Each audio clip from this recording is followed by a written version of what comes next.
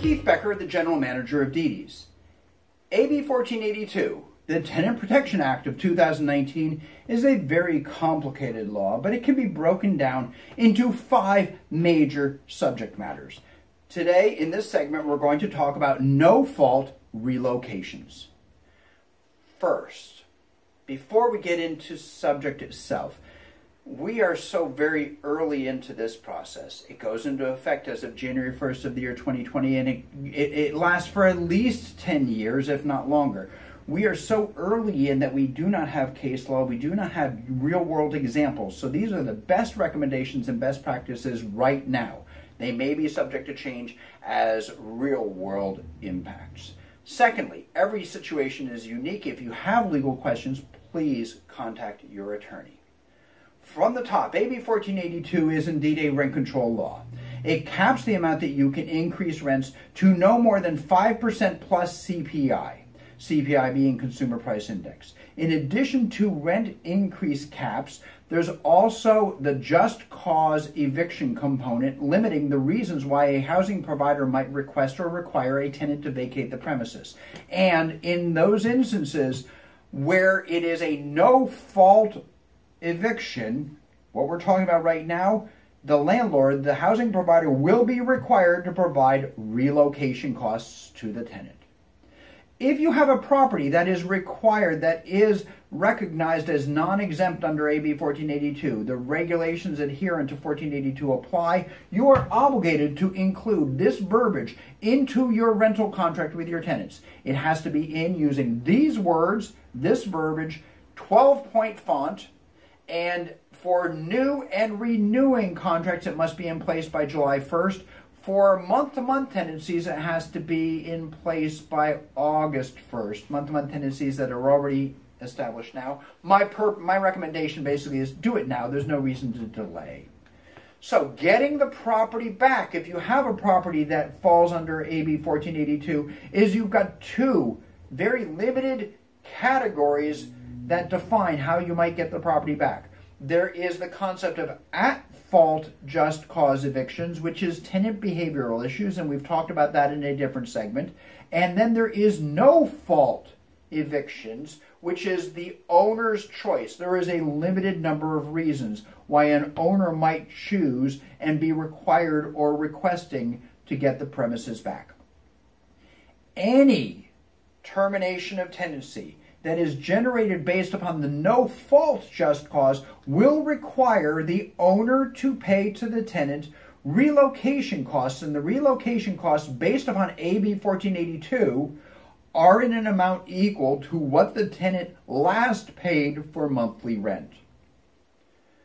The reasons that you, as a housing provider, might be permitted to, on a no fault basis, request the, the occupancy of the property back include the intent to occupy the property by the owner or spouse, domestic partner, parents, children, grandchildren, or grandparents.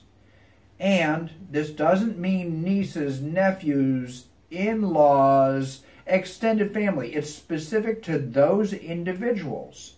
Now, what's interesting about this particular clause is that AB 1482 says you're only permitted to ask the tenant to leave for the move in of one of your relatives if the tenant agrees.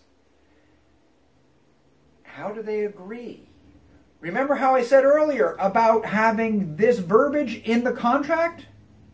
What if, in addition to having that verbiage, you add this lease may be terminated if da, da, da, adding these, adding this clause in with it. Same thing, 12 point font. That is part of your verbiage that goes into each and every contract thereafter. Now, the addition of this clause allowing the owner um, to have family move in is considered to be proper notice and acceptance by the tenant. If you put it into the contract, the tenant by default, by having this in their contract, it is presumed to be their acceptance. Furthermore, we talked previously about at fault evictions, and the fact if you provide to a tenant a lease extension which is functionally identical to what they had in place, adding this verbiage for family members is considered to be functionally identical. So a tenant can't say, oh, I'm not going to sign it because you put that line in. If they say, no, I'm not going to sign it, that's an at fault eviction basis to remove the tenant. In addition to having family members move in, you're still allowed to withdraw the property from the rental market. The Ellis Act is still in effect. It has not been overruled. You can decide that you no longer want to be a landlord. Here's the notice, dear tenant, you must leave. But you have to be able to prove that you're taking it off the market. You can't just leave it dormant for six months and then come back. It will get you in trouble. You can get out of the business, ask the tenant to leave, pay relocation costs. You can ask a tenant to leave if you are intending to demolish or substantially remodel the property. Now, substantial remodel does not include putting in new carpet, painting the property, and hanging new window coverings. It includes structural, electrical, electrical, plumbing, mechanical systems, abatement of hazardous materials, lead, mold, asbestos, and it is something that would be required to be permitted and it cannot reasonably be accomplished in a safe manner with the tenants in place and the length of time for the project would be at least 30 days or more. So this is not something where basically you want to, you know, put in new carpet. That's a couple of days. It's not something where you want to put in the new kitchen. That's a week. This is something where you're talking about a serious and severe project only. The owner's mandatory compliance with a government action or a court order is a reason why an owner may give the tenant notice to vacate. For example, a notice relating to habitability. Heaven forbid the property is red tagged. Um, a court order that requires the vacating of the property. Now, bear in mind, I'm having trouble thinking of examples of these types of instances because I haven't had, for example, a court order telling me that the property must be vacated in even the many years that I've done this.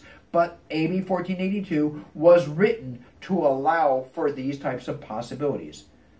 A local ordinance, not a court order, but an ordinance requiring the vacating of the property. That might be, for example, something like eminent domain. However, if it is determined by the governmental agency or the court that the tenant is at fault for whatever the conditions are that require the owner to vacate the property. The property gets red tagged, but it gets red tagged because the tenant has rewired the entire house because they've got a grow room in each one of the bedrooms and the property gets red tagged. The tenant, in that instance, is not eligible for relocation assistance. So, relocation costs if an owner issues a termination notice based upon the permission, you know, based upon one of these permissible no fault causes, the owner shall do one of the following. And I underline shall because it's written into AB 1482 that way, and shall means something very specific. Shall means you must. Not it's a good idea, not oh, you forgot, don't worry about it. It is this is the way it must be. You shall either provide to the tenant a direct payment equal to the last full month's rent that that tenant paid to the housing provider, or you will waive in writing to the tenant the payment of their final month prior to the rent coming due. If the owner chooses to waive the rent, the owner shall provide a notice stating the dollar figure of what that amount of rent is and that no rent is due for the final month. It is in writing and it is provided to the tenant. If, on the other hand, the owner decides to make the direct payment to the tenant, the payment must be made to the tenant within 15 days of the notice to vacate. Yes, this is before the tenant vacates. You give the notice to vacate, no more than 15 days later, you give them the money. If a tenant fails to vacate at the time that they are supposed to vacate, You've given them either a waiver of the rent or you've given them money, and they refuse to vacate and you wind up having an at fault eviction at that point, you're entitled to demand that relocation consideration back. Of course, that becomes part of a court process, and it's part of the process. It's imprecise.